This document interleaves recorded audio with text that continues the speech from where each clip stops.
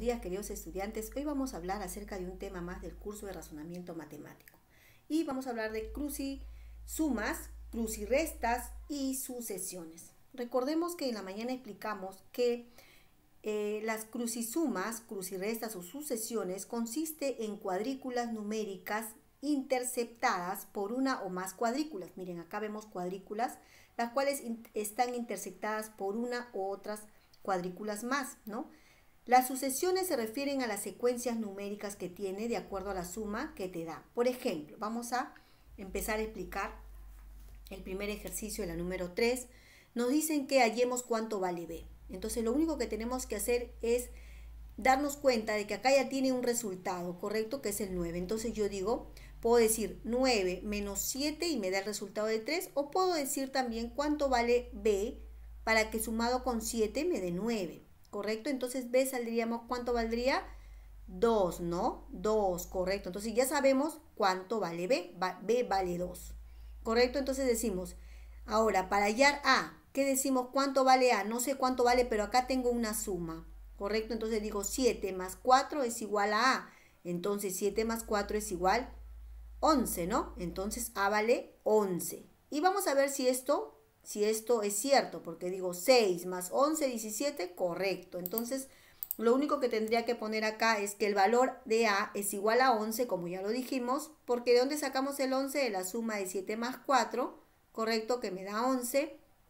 Y B, como ya hemos dicho, 7 más 2 me da 9. Eso es lo que tengo que colocar. Correcto, hijitos. Acá tengo un ejemplito más. Mira, dice, haya el valor de A, B y C en la siguiente, en la siguiente crucisuma. ¿Correcto? Entonces acá me ponen 4 más C es igual a 8. Entonces yo le pongo un valor a C, ¿no? ¿Correcto? Digo 4 más 4, yo asumo que C vale 4 porque sumado con el otro 4 me va a dar 8. ¿Correcto? Entonces yo ya sé que C vale 4. ¿Correcto? No te olvides siempre colocarle un valor para que el resultado sea la suma de los dos, ¿correcto? Entonces acá tenemos que C vale 4 para que me dé 8. Ahora sumo acá y digo 9 más 4 me va a dar B, ¿correcto? Ya sabemos que C vale 4, como ya lo dijimos, y ahora 9 más 4, ¿cuánto es? 13, ¿no? Entonces decimos que B vale 13 y C vale 4. El valor de A, entonces de la suma, porque te pide cuánto vale A, ¿Cuánto vale A? Entonces decimos 20 más 9, 29. ¿Correcto? A vale 9. B es igual a 13.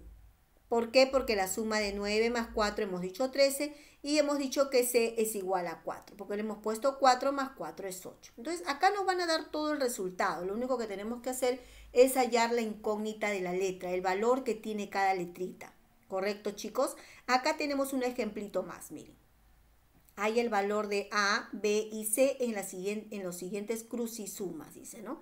Entonces te dice, miren, acá te dice A más 14 te da igual a 24. Entonces, ¿qué hago yo? Lo, lo contrario de una suma es la resta. Entonces digo 24 menos 14 me va a dar el valor de A, ¿correcto? ¿Sí? Entonces ya sabemos cuánto vale A y A cuánto valdrá. Veamos acá. El valor de A será 10, ¿no? Porque 10 más 4 me da 24. Ahora, vamos a ver si es cierto. dice, B es igual a 17. A ver, dice que la suma de 1 más B me va a dar 18. Entonces yo asumo que B vale 17, ¿correcto, chicos? Y ya está, 17 más 1, 18, que es la suma que está acá. Y acá me da un numerito más y me pone 31 más 4 me da el valor de C. Y 31 más 4 sería 35 y ese sería el valor de C. ¿Correcto, chicos? Este ejemplito es para que puedas desarrollar tu tareita que te he dejado de la página 17. Espero que te sirva y cualquier duda me haces saber. ¿Correcto, chicos? Los dejo y nos vemos en un próximo video.